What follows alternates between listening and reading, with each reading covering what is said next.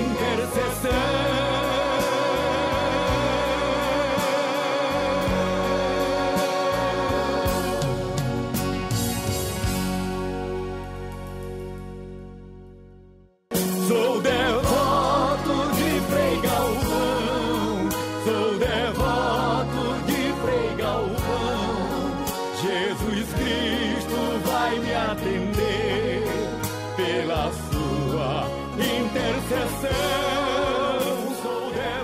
É com a proteção de Deus, é com o amor de Jesus Cristo, o homem de Nazaré, com as bênçãos do nosso querido Santo Antônio de Santana Galvão, que iniciamos mais estes 15 minutos de amor e devoção a Ele, Frei Galvão. E quando a gente inicia esse momento de fé, nosso querido Padre Armênio Nogueira, o padre de Frei Galvão, e eu, devoto de Frei Galvão, Cláudio Fontana, Convidamos você para vir rezar com a gente a oração de Frei Galvão. Então vamos olhar a imagem do nosso primeiro santo brasileiro e juntos rezar sua oração. Santíssima Trindade, Pai, Filho e Espírito Santo, eu vos adoro, louvo e vos dou graças pelos benefícios que me fizestes. Peço-vos por tudo que fez e sofreu o nosso Santo Antônio de Santana Galvão que aumenteis em minha fé, a esperança e a caridade, e vos digneis conceder-me a graça que ardentemente necessito. Amém. Vamos conhecer mais uma graça de alguém que recebeu a intercessão de Frei Galvão. Querido Padre Armênio, todos os dias a gente lê aqui uma carta de pessoas que enviam para o Mosteiro da Luz ou contando uma graça alcançada, ou contando que receberam um milagre em suas vidas, porque fizeram a novena de Frei Galvão, tomaram as pílulas e um milagre aconteceu. As cartas continuam chegando cada vez mais no Mosteiro da Luz, ou agradecendo, ou pedindo que as irmãzinhas enviem para essas pessoas que têm fé a novena de Frei Galvão e as pílulas queridas, pílulas milagrosas do nosso Santo Antônio de Santana Galvão. E hoje, Padre Armênio, eu vou ler mais uma cartinha, a carta que você escreveu para Frei Galvão. E essa cartinha, querido Padre Armênio, vem lá da cidade de Uberlândia, em Minas Gerais. E eu sempre pergunto ao senhor, o senhor conhece esta cidade, Uberlândia? Uberlândia não, não cheguei não. a conhecer ainda não. Triângulo Mineiro? Não, aquela região não conheço. Conhecida não né? muito queijo naquela, é. naquela região. Ei, Uberlândia, em Minas Gerais. Foi escrita pela senhora Adriana Ribas, endereçada ao Mosteiro da Luz, e ela começa a sua cartinha dizendo assim, Padre Armênio: Venho através desta carta pedir, queridas irmãzinhas, vossas orações pela intercessão de São Frei Galvão por meu filho Miguel. Eu gostaria de receber a novena e as pílulas de Frei Galvão. E ela continua dizendo: O meu filho Miguel fará 10 anos, dia 29 de março, agora. Já fez, né? Estamos lendo a cartinha agora. Dia 29 de março, o Miguel fez 10 anos. Ele é um filho abençoado, ela diz mas vive doentinho, diz a mamãe aqui. Miguel é um filho abençoado, mas vive doentinho. É uma criança muito preocupada com tudo e com todos.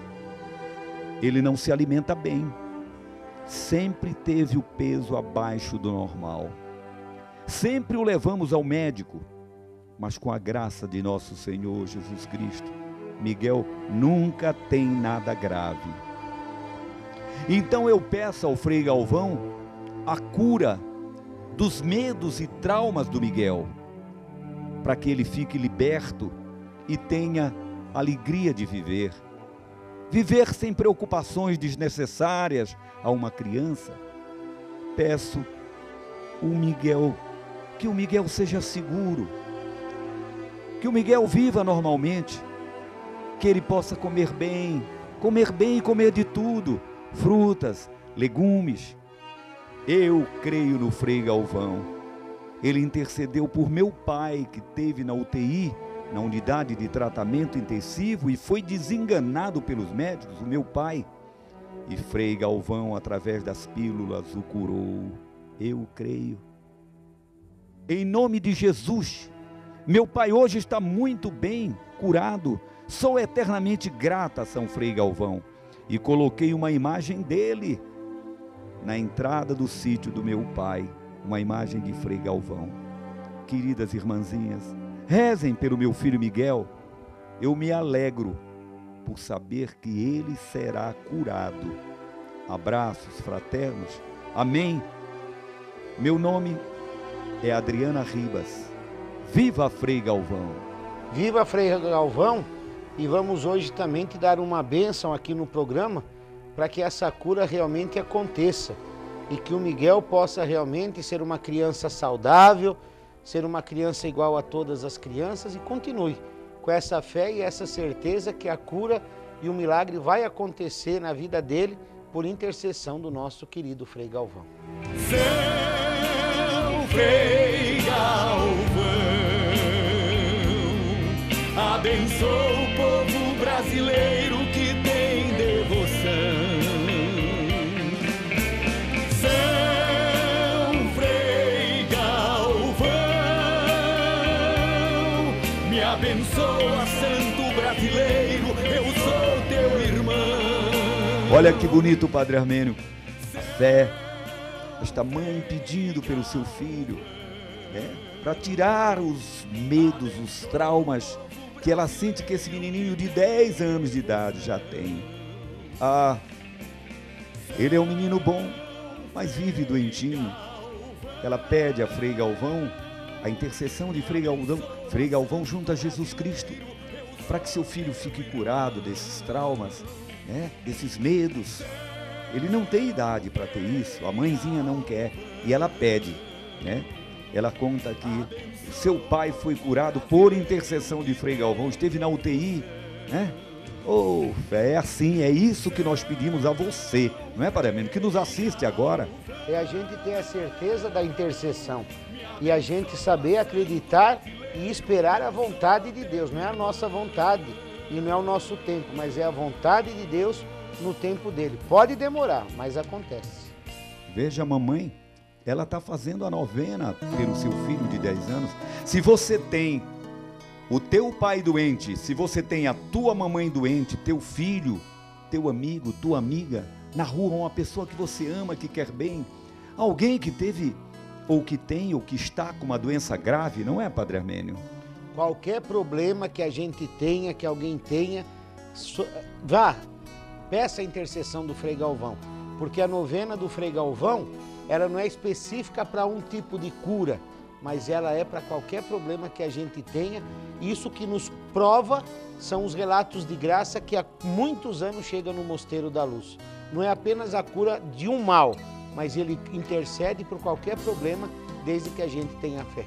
E a gente sempre diz e mostra você, está passando na tela da televisão o endereço do Mosteiro da Luz, o site do Mosteiro da Luz, o e-mail, o telefone. Ligue, fale com a senhora que ele atende lá, é direto no Mosteiro da Luz esse telefone que está passando na tela da sua televisão. Se informe, é? peça a novena e as pílulas. Tome com fé, creia, Desperte dentro de você esta fé, essa fé bonita, forte em Jesus Cristo. Peça a intercessão dele. Ele é brasileiro como nós, é nosso irmão, é o nosso querido Frei Galvão. Eu sou devoto de Frei Galvão, com força, com fé. Foi Jesus, o homem de Nazaré, que me trouxe a Frei Galvão. Divulga o Cláudio Fontana com tuas canções. E o Padre Armênio me acolheu no Mosteiro da Luz há oito anos atrás. E cá estamos nós dois caminhando. Ele reza, eu canto. Ele eu canto, ele reza. E nós levamos Frei Galvão aonde, né? Aonde é possível, aonde nos deixam falar com amor. E agora é o Cine de Oliveira, também devoto de Frei Galvão, é a nossa Ultrafarma, que nos deixa na televisão e no rádio, né, Padre Amênio? Nós falamos aqui todos os dias, de segunda a sexta e no sábado na nossa Rádio No- de Julho. Rádio 9 de Julho, programa Devoto de Frei Galvão, de uma às duas da tarde. Você pode é, entrar pe- pe- pelo, pelo e-mail, né? Ou pela, pelo site, né? Melhor dizendo, você coloca www.radiositvs.com e aos sábados, de uma às duas, você assiste o programa. Lá estou eu e o Padre Armênio, né? Conversando uma hora, contando milagres, graças alcançadas por devotos, por quem tem fé. Nos acompanhe sempre, venha com a gente. A Ultra Farma lá também é que nos deixa levar, Frei Galvão, até você, é, te ajudando, caminhando com você para Jesus, pela intercessão de Frei Galvão. Bom, Padre Armênio, todo santo dia, nós, povo brasileiro, queremos ouvir do Senhor o Evangelho do dia de hoje. O Evangelho de hoje de João, Jesus fala que a nossa, a nossa tristeza será transformada em alegria. A nossa dor também não existirá mais. E ele faz uma comparação bonita, que às vezes uma aflição ou um problema que a gente tem é igual uma, uma mãe. A mãe, quando está para dar a luz, ela tem dores horríveis, ela sofre. Mas quando depois de nascer a criança, ela contempla nos seus braços o seu filho, ela nem se lembra mais da dor que ela teve na hora daquele parto. E é assim as nossas aflições. Agora a gente pode estar sofrendo, mas de repente Deus nos vai dar uma alegria muito profunda, muito verdadeira e muito constante na nossa vida. É, você está com a gente nesse momento. 15 minutos de devoção e amor a Frei Galvão. Mas agora nós pedimos um minutinho é, da sua atenção. Escute aí um recadinho da nossa Ultrafarma. E quem dá esse recadinho é Marília Gabriela.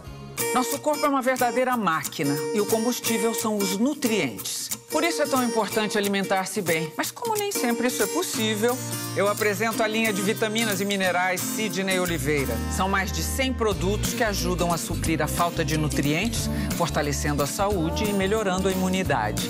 E todos com preço único, porque nossa saúde é única. Vale a pena conhecer a linha Sidney Oliveira, o combustível diário de que nosso corpo precisa. Tem coisas na vida que dão dinheiro e outras nem tanto. Por exemplo, você poderia ser consultora de bigodes postiços. Acho que não, né? Então que tal ser uma consultora Rada? Assim você vai poder fazer o seu próprio tempo de trabalho e ganhar um bom dinheiro vendendo produtos de higiene, beleza e saúde. Com a marca Rada, você é mais que uma consultora. Você é praticamente sócia do Sidney Oliveira. Acesse e seja uma consultora Rada. Neide, capricha nesse tempero porque hoje vem uma visita especial. Quem, dona Carla? Surpresa, né, Neide? Neide, eu quero te apresentar. Ah, seu Sidney! Ah, vá! Já conheço, patroa. A farmácia dele que é a mais barata do Brasil. Esse homem aqui, ó, baixa qualquer preço. Só não sei se baixa o fogo de certa pessoa. Neide! Partidão. Dá licença. Ultrafarma.com.br A farmácia da Carla, da Neide, de todo o Brasil. Acesse e economize. Venha ao Mosteiro da Luz, venha rezar, venha se ajoelhar ao lado do túmulo de Frei Galvão. Frei Galvão está sepultado aqui em São Paulo, no Mosteiro da Luz, né? no centro do altar, né? ali está o nosso. Os restos mortais restos do mortais. nosso primeiro santo brasileiro, né? E é uma graça para a cidade de São Paulo ter os restos mortais do primeiro santo brasileiro, né? Nós sabemos quantas igrejas pelo mundo, né? O povo tem devoção e vai à própria Basílica de São Pedro, lá tem os restos mortais do primeiro Papa, Pedro, né? E muita gente vai lá por causa dos restos mortais. Santiago de Compostela, lá tem os restos mortais de São Tiago. E nós temos o nosso Frei Galvão aqui na cidade de São Paulo.